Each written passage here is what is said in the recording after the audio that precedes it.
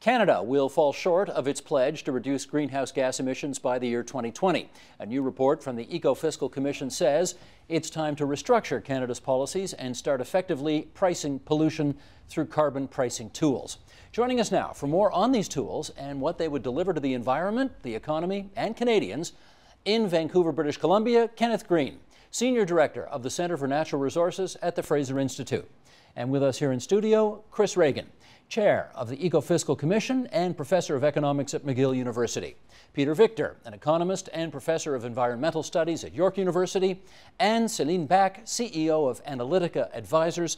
And we are happy to have everybody back here at TVO. Ken Green, good to have you on the program as well from Vancouver.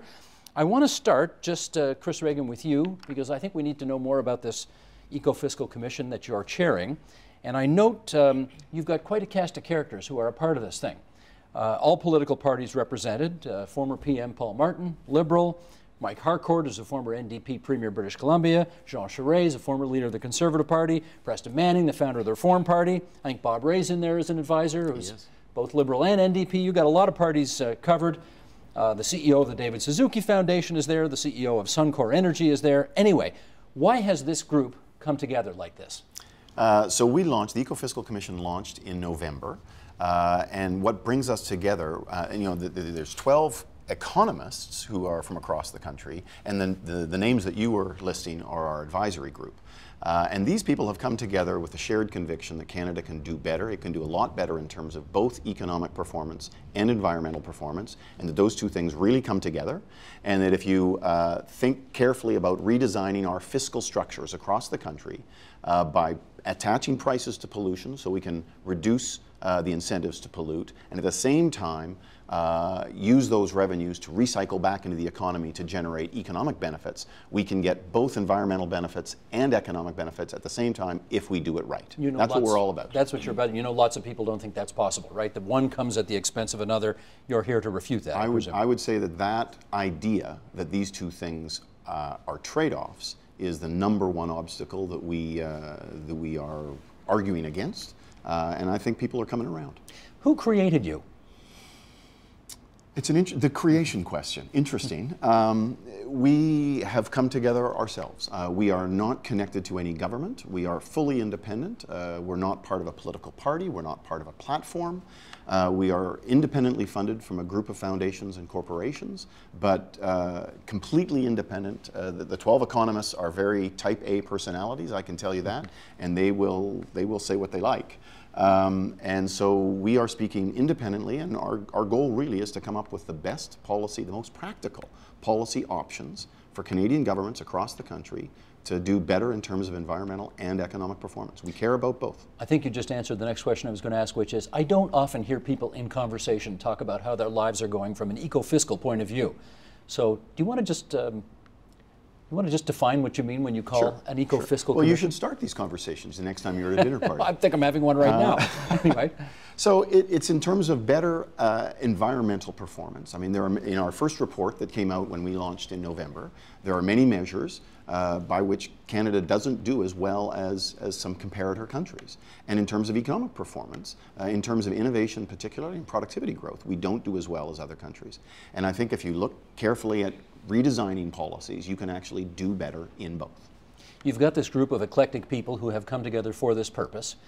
But if you don't have kind of the good housekeeping seal of approval from some government that's created you, or you, uh, why should people pay attention to what you're doing? I guess is the that's question. That's a great question. Um, and we think that an important part of the message is the messengers. So we are economists first and foremost. And so if a group of 12 economists who are not always known for their ability to come to consensus.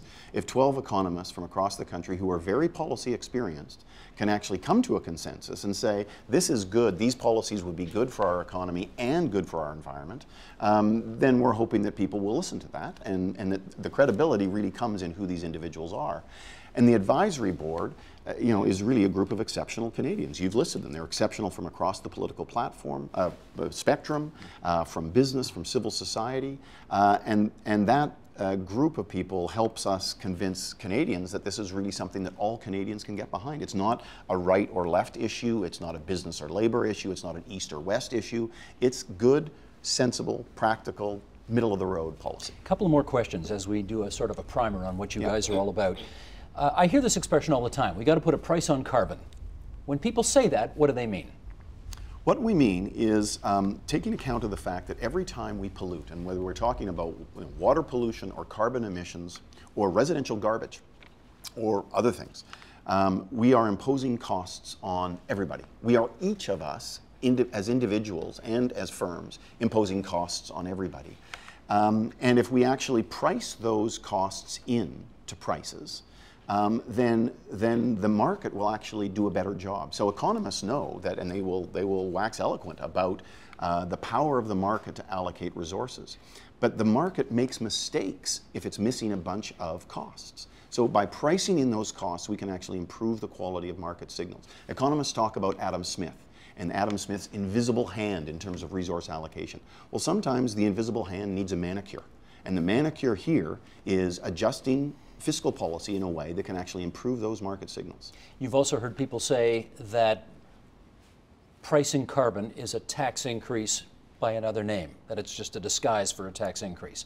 And so I have heard your commission talk about the need to have your program be revenue neutral. Explain what that means. So when you attach a price to pollution, you're going to increase the price of things that pollute. And, and, and the clear uh, economics 101 argument here is that by changing, by raising the price on polluting activities, you'll create an incentive to reduce pollution. And you also create incentives to come up with innovative ways to reduce pollution.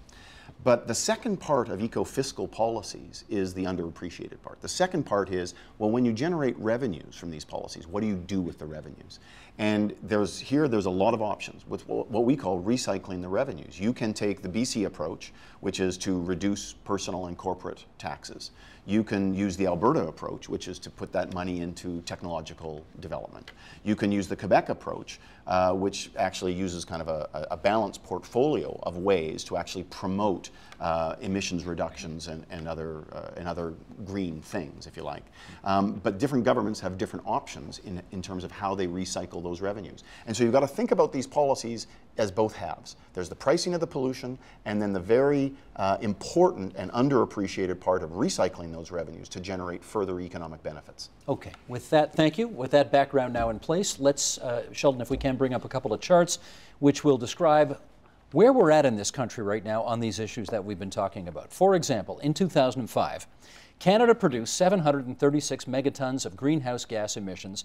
Our 2020 target aimed to reduce that by 17 percent to 611 megatons. Environment Canada says we are on track to produce 727 megatons of GHG emissions in 2020. In other words, 20% above the target. That's the national picture. Let's take a look at the provincial picture. British Columbia was just mentioned. It is projected to be 27 megatons above its 2020 target, plus 27 megatons as well for Alberta. Ontario, on track to be 20 megatons above the target and plus 13 megatons for Quebec.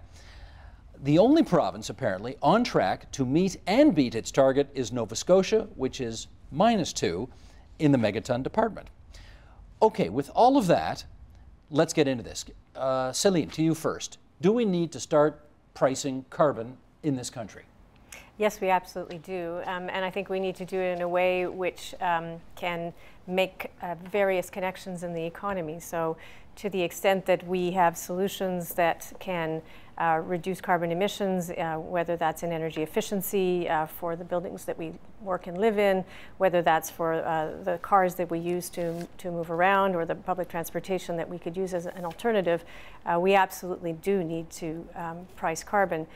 Um, it, it, it, provides an opportunity for uh, us to you know, meet our international obligations, um, to actually fulfill those uh, those promises that we've made and to make sure that Canada does its share um, in terms of our contribution to reducing carbon. Let's get a view from out west. Kenneth Green, do we need to start pricing carbon in this country? I don't think so. Um, you have to ask yourself a question, which is when virtually everyone is missing the target, what's the problem? Is the problem perhaps with the target as opposed to the people trying to meet it? So we need to reconsider the question of whether or not these targets are reasonably achievable.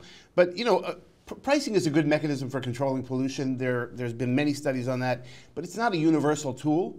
And it may be the most efficient way to reduce greenhouse gas emissions compared to other approaches. but it's also the most efficient way to a super low energy lifestyle that, frankly, Canadians have not shown any inclination to adopt voluntarily. Without being penalized into it, most Canadians have not chosen to adopt these kinds of lifestyles.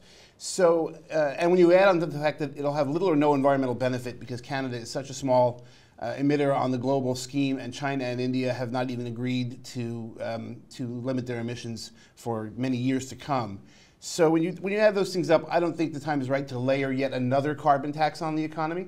We already have multiple carbon taxes in terms of your appliance efficiency standards, your housing energy standards, your vehicle energy standards.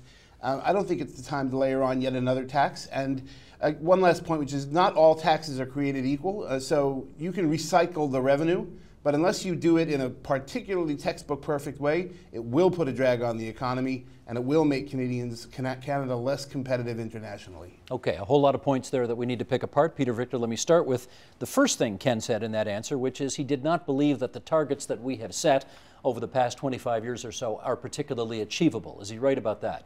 No, I don't think he's right about that at all. How I think, well, I think that the targets have always been set on the rather conservative side, rather modest, uh, because they're set as a result of a process of negotiation where uh, a range of interests come into play. Uh, I think that as we've gone through the last 20 years, we've learned more and more about the significance and the seriousness of climate change as a problem, and that uh, even meeting those targets uh, is not going to wrestle that problem to the ground. And we've lost our place in the international community as a leader on environment because we're just not keeping up with the pack. If the targets are so modest, how come we can't hit them? I think we can hit them. Well, we're not hitting them. Well, we haven't introduced the right policies up to now, and that's why the proposal for a price on carbon, I think, is particularly attractive. Can it be good for the economy to price carbon? Well, you know, it depends on what you mean by good for the economy. I come at this a little differently from many other economists. What's the economy good for? Is where I is the question I want to ask. And the economy has to be good for employment and for security and for giving people a, a good standard of living. Uh, and that doesn't always result in endless economic growth, or let's put it differently, we don't need endless economic growth to, to satisfy those important uh, outcomes. So I think a carbon price can definitely be good for the economy in terms of increasing our overall well-being. Absolutely. Chris, I saw you jotting something down there. Do you want to share with the rest of the class? Well, your question is, you know, can a carbon price be good for the economy? When you ask an economist that question, the, the answer is almost certainly going to be, and it will be right now, relative to what? And here's where I'm going to agree with Ken is that Ken said that you know pollution pricing is probably better than the alternatives. So if you look at those targets that you know every country, and I'll think about the provincial targets, right? Eight out of the ten provinces are going to miss their 2020 targets. So what that says is if they really want to achieve those targets, they need more policy. And if they want more policy, they've got basically two choices. You can use some sort of a regulatory approach, which tends to be fairly intrusive and prescriptive about what firms need to do, or you can use a market-based measure that has pricing at its core. And a central message of our report is that province by province in this country, there are big economic advantages to using the carbon pricing approach rather than a regulatory approach. And I'll just give you the number that for Canada overall, the number is 3.7% of national income, that's GDP, in 2020. That's a big number. You know that we just went through a recession a few years ago. It was GDP fell by about 3.3%, lasted for a couple of years. This is 3.7% as a permanent benefit for using carbon pricing rather than a regulatory approach to achieve those targets. Ken, if that's the case, why are you opposed? Well, because we're not doing any rathering. Uh, we're doing additional. So we, th there are some people discussing this in the States as well, which is the idea of a grand carbon tax swap, where you put a price on carbon, but you also remove the regulations that are redundant. You remove the regulations that and subsidies that are aimed at reducing carbon emissions. Let's not forget, we're all talking about greenhouse gas emissions right now. Conventional pollution has been a tremendous success story in Canada uh, in terms of reducing our, tradi our traditional impacts on the environment. But we're not getting any rathers. We're just getting extras. So it's, it's more and more on top. And in fact, environmentalists are already arguing that the tax to be effective will have to be much, much higher than the $30 it is today in British Columbia in order to get people to change their behavior. And uh, Ross McKitrick, a senior fellow at our institute, found the same thing when he looked at the question of what would it take to just get motorists to reduce their, gas, their gasoline consumption by 30%. Uh, and it took more than a dollar and a half per liter uh, to get them off of, to, to, move away from using gasoline. So um, we're not seeing a, a, nice, neat tax reform proposal. we're seeing a tax on top proposal. Well, let me pick that up with Cindy. You, you had a, you're part of a big meeting at Queen's Park the other day, right? All sorts of people, Minister of the Environment and Climate Change, and lots of other experts. Did you emerge from that meeting with a sense that this is a group that is looking at rathers as opposed to extras? Uh, well, I think the one of the defining characteristics of this problem that we're talking about today is that it, it requires us to make connections across different areas. So the people who are responsible for uh, pollution need to uh, talk to the people who are responsible for the economy and for trade, and the people who are responsible for trade need to talk to the people who are responsible for, uh, you know, other areas like the stewardship of our forests. And so it makes for a, a, a, complicated process, and it's, it's actually one of the things the minister said is that he has responsibility to help Ontario uh, achieve its uh, greenhouse gas reduction targets, but is dependent on all of his cabinet colleagues to do that. That's the meeting um, you had the other day, I guess. That's right. Everybody to, showed up. To bring people together to start having that conversation. Now, obviously, we, we need to uh, be smart about making uh, recommendations where it, it falls within the bailiwick of a minister wherever we can. But I think this is one of the one of the big challenges that we face in renewing Canada's economy and in reducing this false choice between the economy and the environment, and that is to make the connections between the policy silos, which frankly is not something that we're very good at or very practiced at. Well, one of the reasons we're talking about this on this program tonight, of course, is that the Ontario government says it's on the verge of announcing something big. And uh, we don't know all the details of it yet, but it's probably a cap and trade system. Uh, probably not a carbon tax like the uh, province of British Columbia implemented seven years ago. I want to play a little clip here. This is Gord Miller, who's the outgoing Environmental Commissioner of Ontario. He's got another, another month or two on the job. And he talked about the BC carbon tax approach. Ken, you just referred to it a second ago. $30 per ton of carbon is charged, whether that's doing the job to reduce pollution. Here's what Gord Miller had to say on that. Roll it, please. Carbon tax is, is a good thing when they do like we did like they did in British Columbia, which is you take you, you tax the things that emit bad stuff in the atmosphere and you give the money back to the people, which British Columbia has done, and that's why they have had one of the most successful carbon taxes certainly on the continent, if not the world, uh, because the money goes back, and then people know it goes back because it comes back directly on, on lowering their tax bill. Chris, has the BC carbon tax example been successful in your view? Uh, yes, and in a couple of ways. So uh, number one is, you know, it was introduced in 2008 uh, at a fairly low price, and it has ramped up a little bit. Uh, it's now $30 a ton. Uh, the evidence that I've seen has suggested that per capita fuel use, it, it applies to fuels, about seven different fuels, six perhaps, um, that per capita fuel use, and this is a province that's growing by about 1% a year, so it's appropriate to look at per capita data. The per capita fuel use has fallen significantly relative to that in the rest of the country, um, where carbon prices weren't used.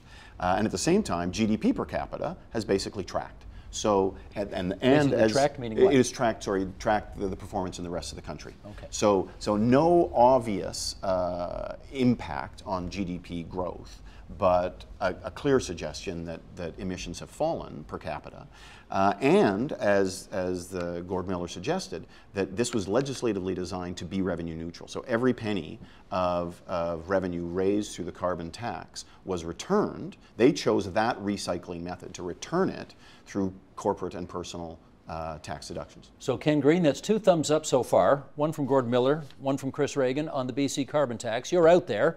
Do you agree that it's working well?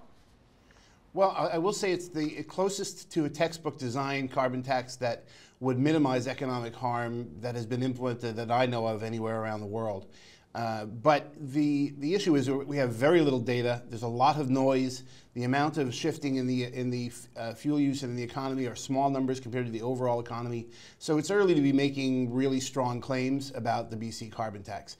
And we'll never be able to prove the counterfactual, which is we just, we just heard Chris said, you know, and the, the, the GDP, the economy tracked with the others.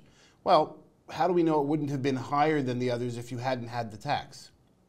right? So we'll never be able to measure that. We can't measure the counterfactual as to what's being possibly lost in the economy. All you can say is it's not driving Canada below the average, driving uh, British Columbia, I'm sorry, below the average for Canada.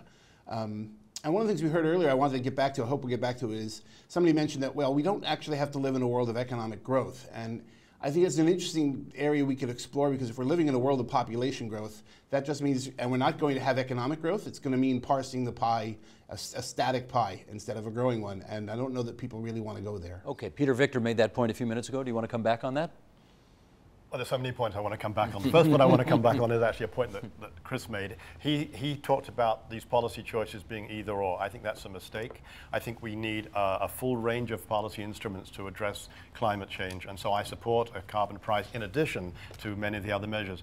Uh, and there are good reasons for that. One is there are many things that a carbon price will not do very well for us. For example, we need to redesign the structure of our cities, make them more compact. Uh, it, a carbon price is a very clumsy way to do that. It's much better to do that through better, through better planning.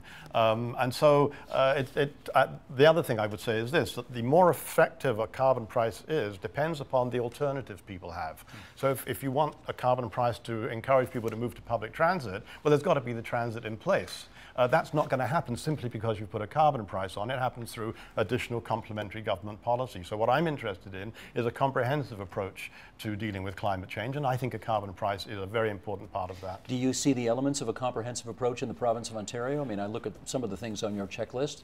There is a $130 billion infrastructure program the government of Ontario has announced. They're about to announce, we're told, a cap and trade program similar to Quebec's. Uh, we're hearing also that uh, densification is the way to go when it comes to rebuilding our cities. Uh, yeah. Well, I've read like the government's uh, recent paper, and I think that's not a bad characterization of it. I think they're trying very hard to look at it, look at this in a comprehensive way. And don't forget, Ontario was the first jurisdiction to close down its coal-fired uh, generation plants, which right. has been a, a, a, big boon to Canada in terms of reducing our total emissions um, compared with what they would have been. So yes, I think Ontario is now getting onto the right track. I'm very glad to say that. Can I agree with Peter in his disagreement of me? um, so uh, one of the important points that we make in our report is that um, Carbon pricing is not the be all and the end all. There's no suggestion here that carbon pricing is the only thing we need. There are some regulations that are actually very useful. And when you start talking about redesigning cities in a way that is more sustainable, I mean, carbon price is not, um, is not the only thing you need. But I don't know any economist, frankly, who doesn't think that carbon pricing in some form is an essential part of an overall coherent policy package. And I want to come back to something that Ken said, because Ken and I would agree on this as well, is that um, you know, once a carbon price is in place, there probably is scope for rolling back or even repealing some regulations. Not all, but there are some regulations that are not very effective. Um, and you know, the Ecofiscal Commission was probably going to do a report on that in the near future. But the other thing he said is that is that he was really speaking to the coherence of what we need in policy. You don't want to just introduce a carbon price and think you're done. Mm. You do want to think about it uh, coherently, but you also want to think about it sensibly. The details matter. So when Ontario comes out with their announcement, whatever they're going to announce in the next few weeks or few months, um, it's not enough just to have a carbon price. It's got to be designed well. And again, a very important point in the report is that the details matter. Whether you're talking about a carbon tax or a cap and trade system, you can design them very well, you can also design them poorly. Mm. And so we go through a discussion about the kinds of things you really want to focus on. I now know why you're the chair of that commission you very skillfully managed to say, "Yeah, I agree with you on this, and I agree with you on this." well played. That's good Even stuff, though Chris. We disagree. He, well, but he agrees in his disagreement yes, with you. Well, that's uh, impressive. That, that was well done. Uh, okay. Well, again, we've heard. Um, we keep hearing this thing over and over again, and I'm convinced most people don't know what this is. So, Cindy, you're now going to give us the um, what is this Ecofiscal Commission 101 vision on what um, a cap and trade system actually is. We're, we're seeing that numerous jurisdictions across North America are embracing these. Quebec has embraced it. I don't think people know what it is. So when you mm. talk about a cap and trade system, what is that? Well, uh, I can give a number of examples of cap and trade systems. Um, maybe we could talk about China as an example. So uh, China uh, gave the responsibility to uh, the mayors of its larger cities to uh, count all of the large emitters of carbon in their jurisdiction. These same mayors were also responsible for actually building these, these large factories and, and, uh, and energy production systems, coal power plants, among others. Um, and so one counts all of the emissions from these various sources and then uh, establishes how the, the, degree to which the emissions will be reduced. Um, the reductions are then given uh, uh, a price, and uh, those uh, entities who can reduce to the degree that they're um, they're required to don't need to buy the rights to pollute from others. Um, and uh, others may be um, different kinds of entities. They may, may be communities who have put in place uh, ways of um, using marginal agricultural land to sequester carbon. They may be, may be innovation-based companies who are uh, reformulating what we put on our blue box to make automotive parts and that take uh, petroleum products out of the system. They may be very different uh, types of uh, providers of reduced CO2 emissions, um, or it may be uh, you know one cement uh, producer who is much more efficient in reducing their carbon emissions uh, compared to another cement uh, producer, and so it may be within an industry. Okay, Chris, let me follow up with this. I own a mining company in Sudbury. As I dig for nickel, I create pollution. Under a cap and trade system, what am I going to have to do going forward in order to live in this new reality? Great question.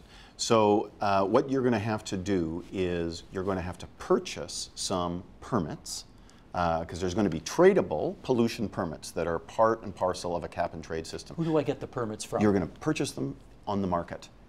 When they're originally issued, they may be auctioned off by the government. They may be given away for free by the government, but in principle, they could be auctioned off by the government. After that, they are tradable in a market. So you simply go into the market and you buy a permit for uh, the, the amount of emissions that you want to make as part of your nickel mining operation.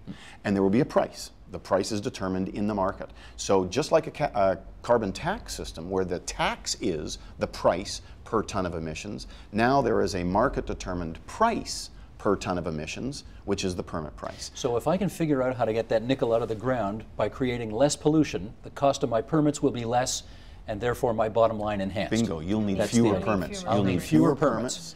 And okay. that, that's exactly the profit driven incentive that both a carbon tax and a cap and trade system has. Uh, the, the profit driven incentive to actually, the market seeks out the lowest cost reduction possibilities. Um, and that is exactly why uh, carbon pricing is lower cost overall for the economy than a regulatory approach. Kenneth Green, to my knowledge, the Fraser Institute is a uh, is an institute that likes market-based solutions. Is this a market-based solution that you can get behind?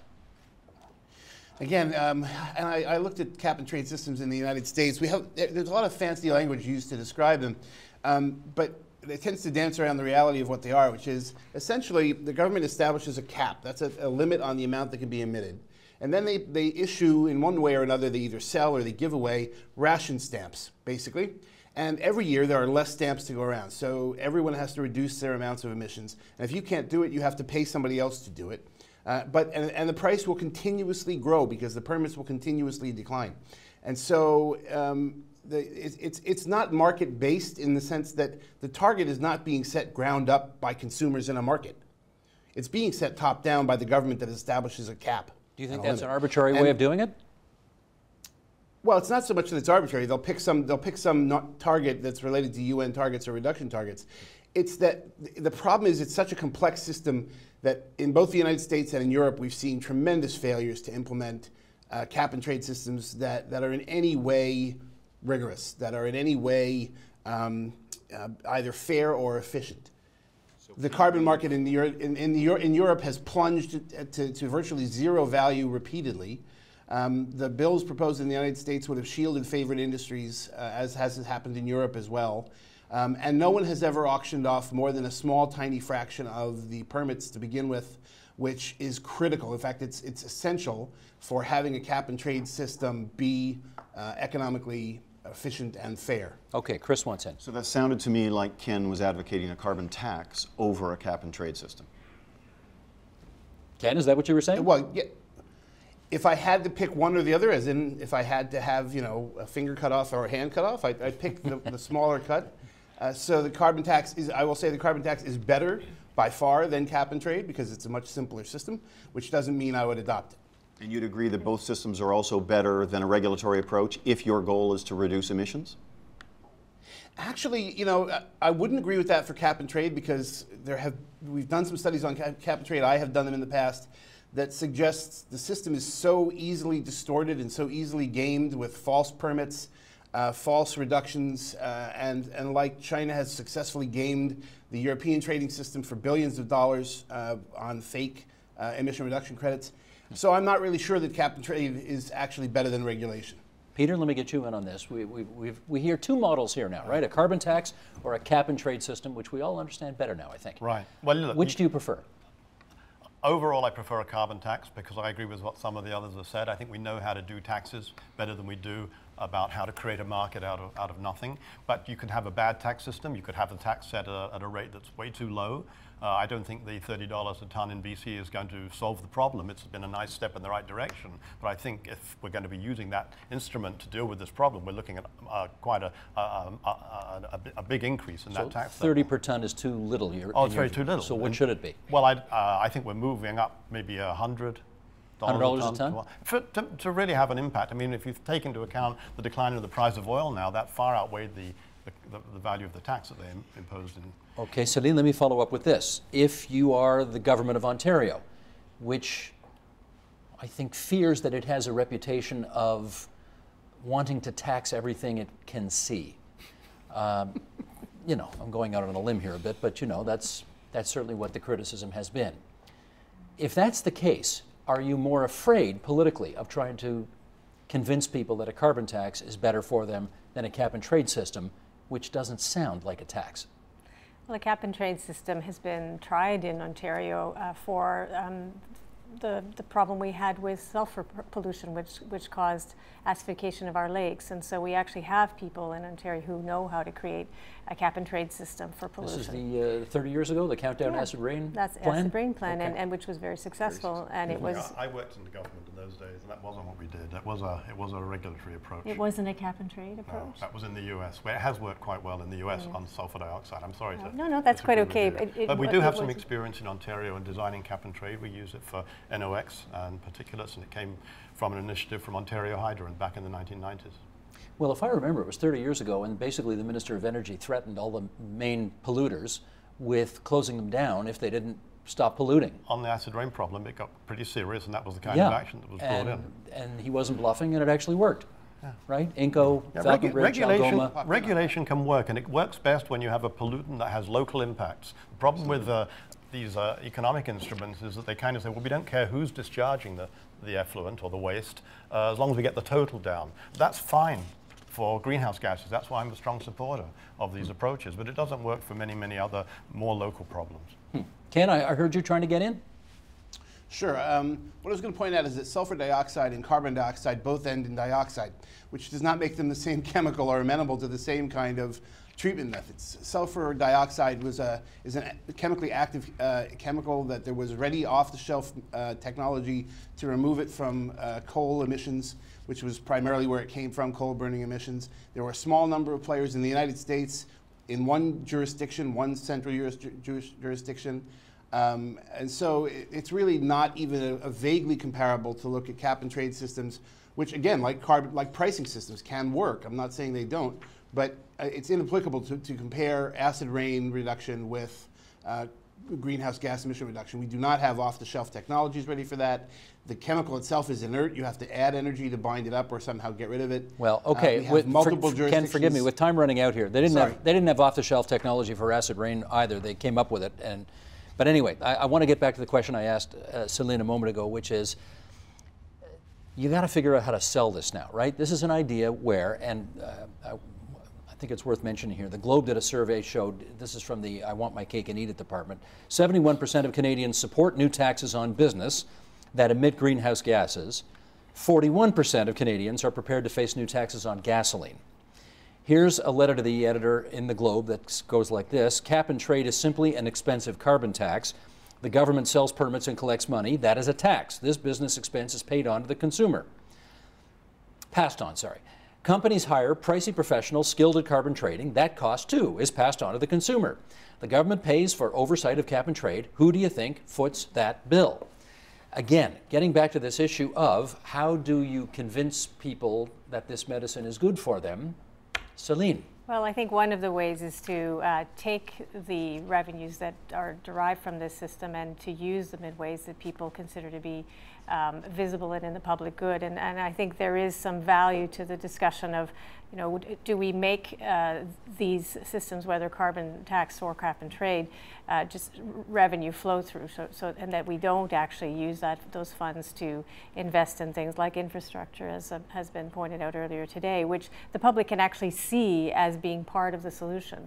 So if I have a GO train that's more frequently uh, running and that I can use instead of taking my car, I can therefore understand that you know we are taking the revenues that have come from uh, the cap and trade system or from the carbon tax to do something which is practical and that I can I can use and that does benefit uh, our, our work to try and reduce uh, carbon emissions. Peter, how do you convince people this is good?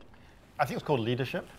And I think that uh, we've got other examples in the environmental field where leadership has done the job. Uh, take the blue box, for example. It didn't require a a, a, fee. It didn't require a charge. It required uh, explaining to people, if they needed explaining, that waste was a problem and we should be recycling it.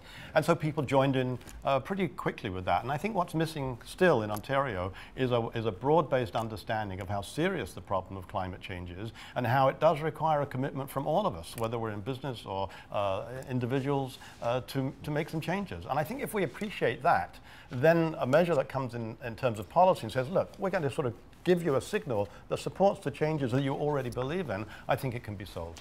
Chris, how do you talk to the person who wrote that letter to the Globe and Mail and convince them this is not just another tax by a different name? Well, I think it's a great question and it's a great challenge. Um, I, but I, I, don't think we have to convince people of one thing, is that most people actually want to make progress on this issue. That's exactly what your survey suggested.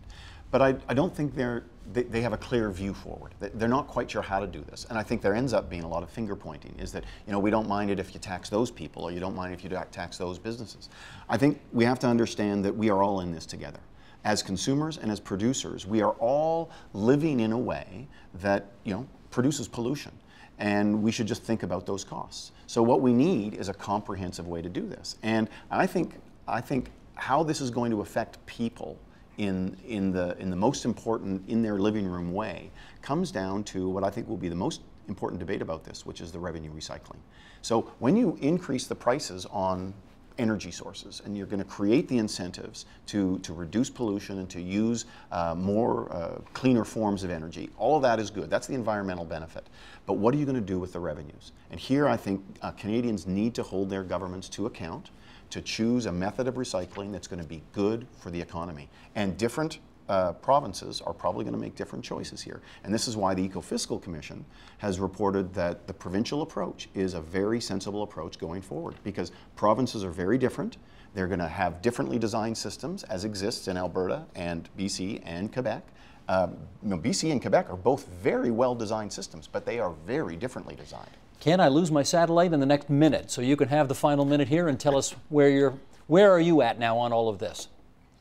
Thanks. Uh, well, you know, I'm, I'm re really with the letter writer. Uh, the reality is, if you impose a carbon price, the price of virtually everything that people use is going to go up. And it, that includes the energy that's embedded in the things that they wear, the products that they buy.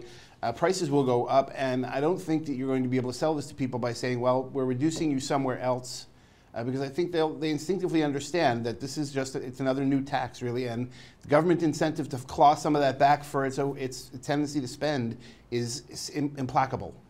Let me get my thank you in before we lose the satellite. Ken Green from the Fraser Institute Thanks. in Vancouver, British Columbia. Good of you to be with us on TVO tonight. Thanks so much. And back here great, in our thanks. studio, Chris Ragan, Chair of the Eco-Fiscal Commission, Peter Victor, Professor of Environmental Studies at York University, Céline Bak, CEO Analytica Advisors. Thanks so much to the three of you as well. Thank you. Support Ontario's public television. Donate at tvo.org.